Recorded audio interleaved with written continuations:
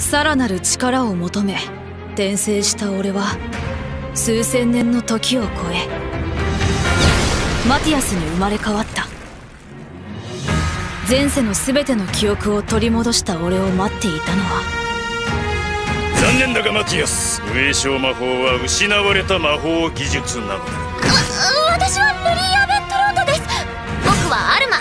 僕の勘は結構当たるんだよ化け物なんてひどいじゃないですか。私女の子なのに。失格門がたった一人で来たぜ。最強の紋章が最弱扱いされる。魔法技術の衰退した世界だった。無栄称魔法が衰退し第4問が失格門だと蔑まれる。それがこの時代の常識だ。なんで魔法が霊障してないのに無栄称魔法は認められていないあの私でもできますか？この魔力の感じ。もしかして。今の我々にできることは何もない。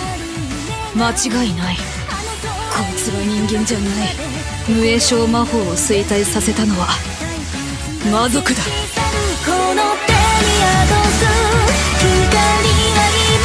この国に数百年もの間魔族が入り込んでいたということだすごいですマティ君。まさか魔族と戦えるなんて。いきますよ。